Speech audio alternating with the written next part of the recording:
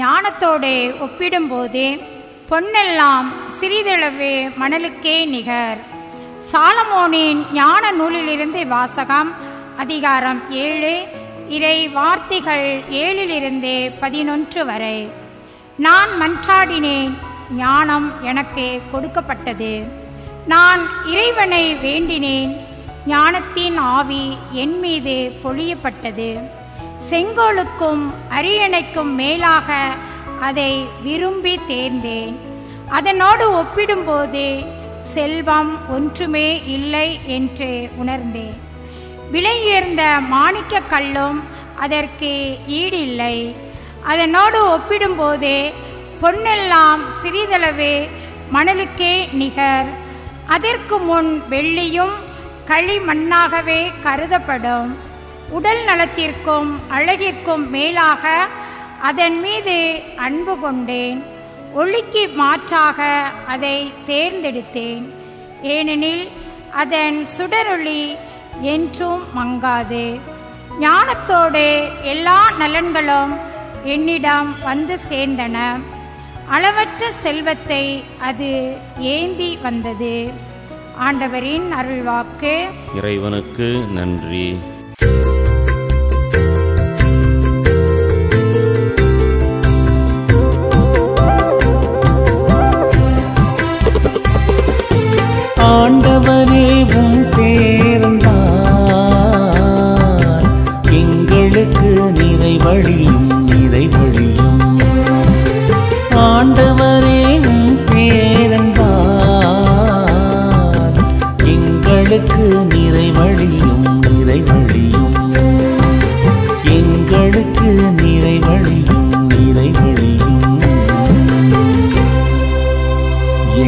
வாழ்நாளை கணிக்க எங்களுக்கு கற்பியும். அப்பொழுது ஞானமிகு உள்ளத்தை பெற்றிடுவோம். ஆண்டவரே திரும்பி வாரும். எத்துணை காலம் இந்நிலை உம் ஊழியருக்கு இரக்கம் காட்டும். ஆண்டவரே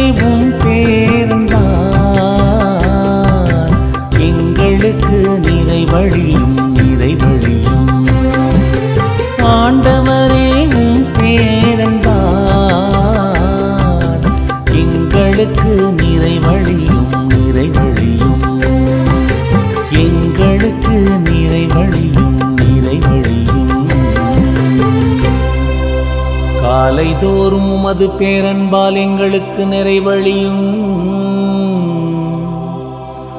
அப்பொழுது வாழ்நாளெல்லாம் நாங்கள் களி கூர்ந்து மகிழ்வோம். எங்களை நீர் ஒடுங்கிய நாள்களுக்கும் நாங்கள் தீங்குற்ற ஆண்டுகளுக்கும் ஈடாக எம்மை மகிழ செய்யும்.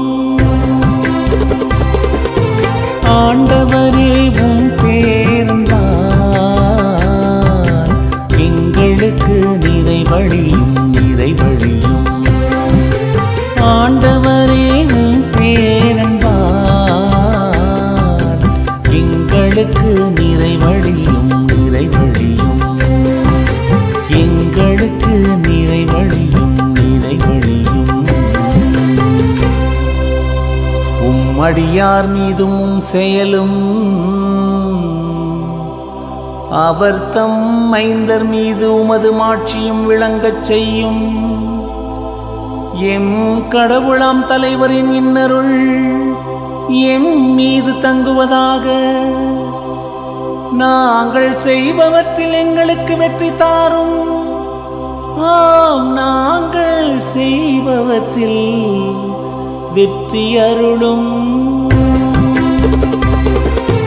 ஆண்டவரே உம் பேர்.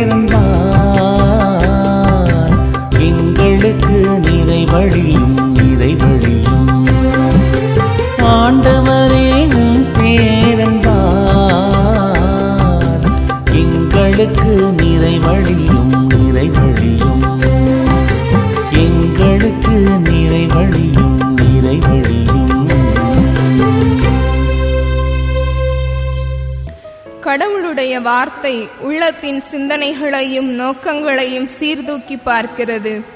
எபிரேயருக்கு எழுதப்பட்ட திருமுகத்திலிருந்து வாசகம் அதிகாரம் நான்கு இறை வார்த்தைகள் பனிரெண்டு முதல் பதிமூன்று முடிய. சகோதரர் சகோதரிகளே கடவுளுடைய வார்த்தை உயிருள்ளது ஆற்றல் வாய்ந்தது. இரு பக்கமும் வெட்டக்கூடிய எந்த வாளினும் கூர்மையானது. ஆன்மாவையும் ஆவியையும் பிரிக்கும் அளவுக்கு குத்தி ஊடுருவுகிறது.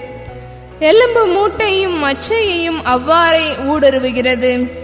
உள்ளத்தின் சிந்தனைகளையும் நோக்கங்களையும் சீர்தூக்கி பார்க்கிறது. படைப்பு எதுவும் கடவுளுடைய பார்வைக்கு மறைவாயில்லை. அவருடைய கண்களுக்கு முன் அனைத்தும் மறைவின்றி வெளிப்படையாயிருக்கின்றன. நாம் அவருக்கே கணக்கு கொடுக்க வேண்டும். ஆண்டவரின் அருள்வாக்கு இறைவனுக்கு நன்றி. அல்லேலூயா அல்லேலூயா அல்லேலூயா. ஏழையரின் உள்ளத்தோர் பேறு பெற்றோர். ஏனெனில் விண்ணரசு அவர்களுக்கு உரியது. அல்லேலூயா. அல்லேலூயா அல்லேலூயா அல்லேலூயா